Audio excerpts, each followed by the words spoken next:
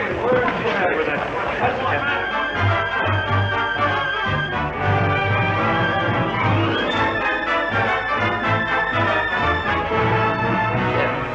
Fly down to Italy for a weekend? I can't. I haven't got any goggles. Oh, my word, Jerry, you have to go. She's counting on us. You see, she's going to have a young friend visit her, and I suspect there's something in the air. You know Madge and her matchmaking proclivities. Well, is she expecting me for a weekend or a wedding? Well, can't tell. You know how wives are. No, I don't. How are they? Horace. How do you do? Madge! Darling. My, my, my, your passion frightens me.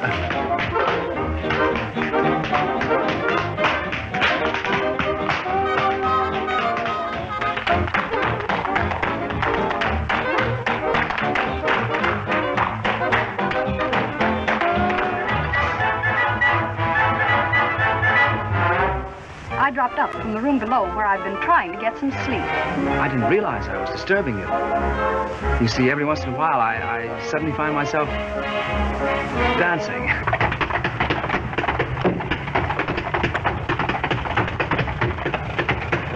Peekaboo. Stop this cab at once. In dealing with a girl or horse, one just lets nature take its course. Let the rain pitter patter, but it really doesn't matter if the skies are gray. Long as I can be with you, it's a lovely day. Is there a Mr. Hardwick stopping at this hotel? Why, yes, Miss Tremont. Mr. Hardwick has room 404, just above you. Now tell me, did my husband look you up? Yes.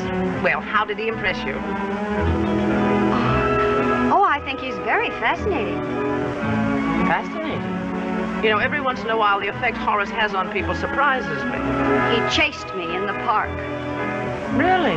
I didn't know Horace was capable of that much activity. What's the matter? Uh, I'm afraid I'm going to have a headache. Oh, don't go. This is a meeting I've been planning a long time. Good evening. It's nice you again, Miss Tremont. You robbed me of the pleasure of introducing you two. You've already met.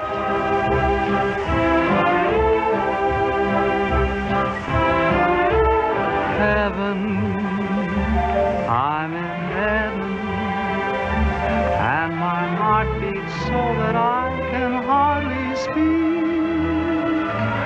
And I seem to find the happiness I see when we're out together dancing cheek to cheek. I just got an invitation through the mail. Your presence requested this evening. It's formal. Top hat, white tie, and tails.